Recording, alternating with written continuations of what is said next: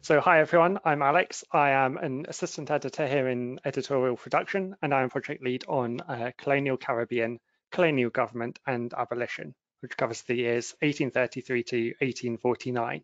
So as has said, this is the second module of our Colonial Caribbean series, uh, the first of which published in September last year. Uh,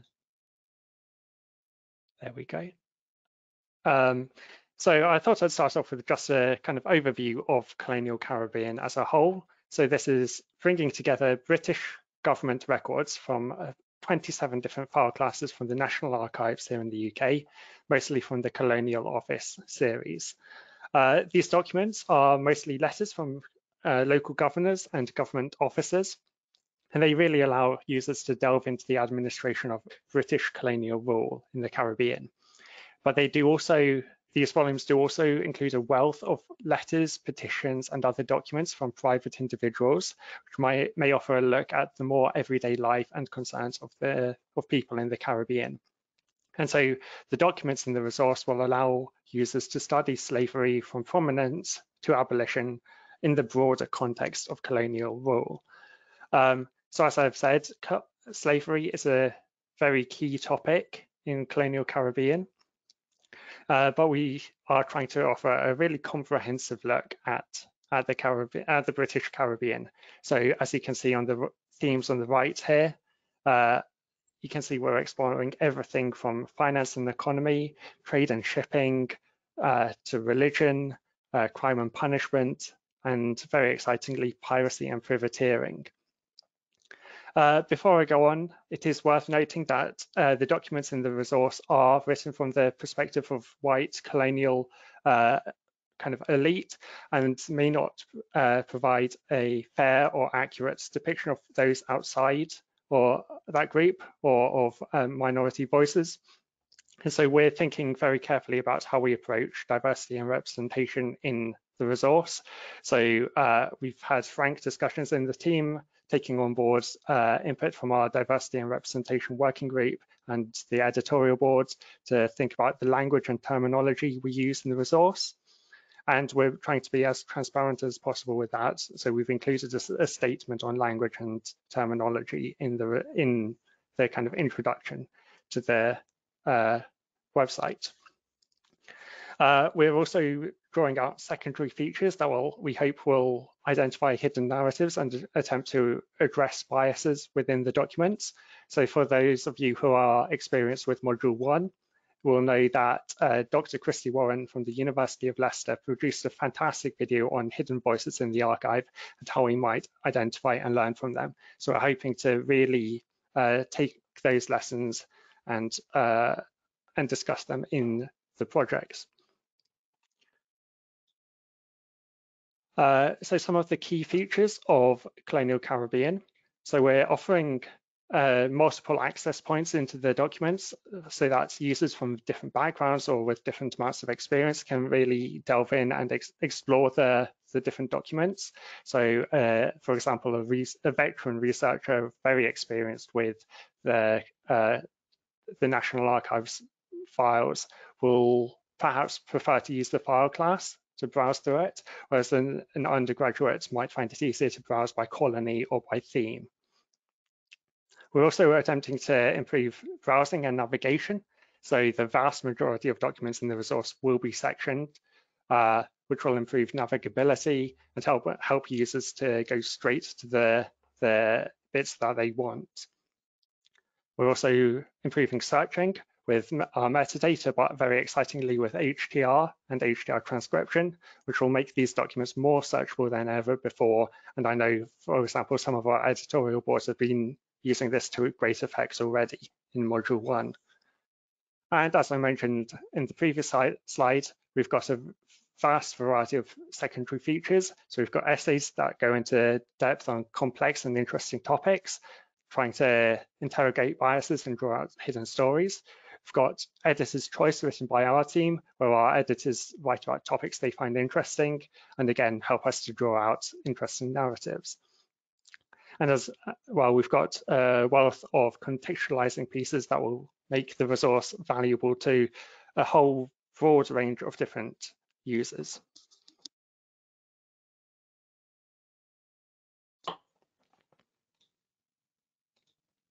So focusing in now on module two, uh, so those of you who know module one will know that it covered nearly 200 years of uh, of Caribbean history, whereas the second module is really zooming in on just a 16 year period. Look, and in particular, we're looking at, um, at the abolition of slavery, which came into effect in 1834, and the immediate effects.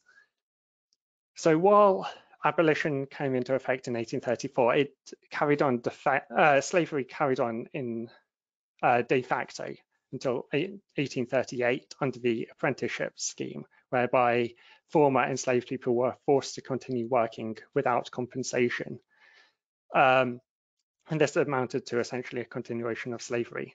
But this was resisted by the apprentices and by abolition group, whose pressure helps to bring this scheme to an early end in 1838.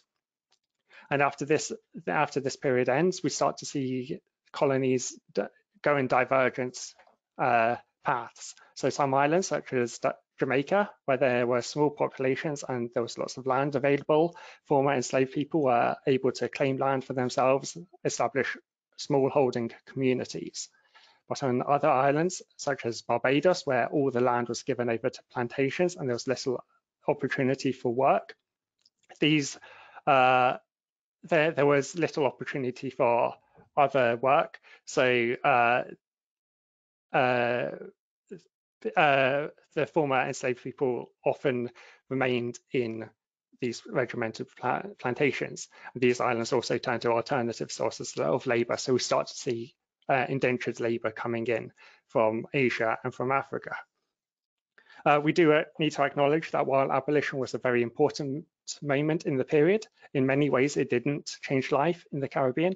So the kind of structures and hierarchies of colonialism were still in place, but just redefined. And so the, the government in the Caribbean often takes on new roles and reorganizes itself to enforce those old structures. Um, I thought just to end with, I'd go through a few uh, documents to showcase how we might ex examine them and how, how, we might draw out narratives. Uh, so these are just a very brief highlight from a very rich and varied resource. It wouldn't be possible to go through all the different document types or stories in the time we've got. So just to start with, I've got two um, documents where we've been able to identify underrepresented, underrepresented voices and learn about people from outside of the colonial elite. So on the left here, we've got an address written by, in their words, the, the free colored inhabitants of the island of New Providence. And on the right, we've got a petition from former enslaved people in Jamaica. So from these documents, we're able to learn about the people involved in the Caribbean, and we are able to learn about their lives. Uh, the petition on the right is a particularly vivid depiction of life for uh, former enslaved people. So that, just as a quote from it, uh, your petitioners have been so repeatedly defrauded by the planters of their time and have no redress, for they themselves are the dispensers of justice. So both these documents are appeal, appealing for rights um, to be extended across the whole free population of the Caribbean. And they paint a story of how people in the Caribbean resisted against colonial structures and sought to establish their own rights. Uh, that's just an example of how we can identify uh, underrepresented voices, but uh, there's a whole wealth of documents within uh, colonial Caribbean that can draw out these stories. But we do need to then say the majority of documents in the resource are written by government officials. And um, again, I've got a couple of examples here. The, uh, we are able to identify some interesting and uh, minority voices in these here. So uh, th this middle one, for example, is a governor forwarding documents about someone who's going through hardship. Uh, but we need to acknowledge that these are um, are potentially biased documents and may not uh, tell the whole story. And just as the last one, uh, statistics. I'm not very good at maths, but someone who's very who's much better at it will love these. Uh, SEO Caribbean has a wealth of statistics on a huge range of topics. Uh, so we've got um, uh, election results going from Jamaica, which then further breaks it down by parishes and um, showing the number of enslaved, former enslaved people in each parish. Uh, in the top right, we've got uh, returns, again from Jamaica, showing the amounts of produce, so sugar, rum, and molasses exported from different estates in Jamaica. And the bottom right is a financial document from uh, the West India Bank. So comparing different statistics from across the resource might allow users to perform quantitative or longitudinal, longitudinal analysis of life in the Caribbean.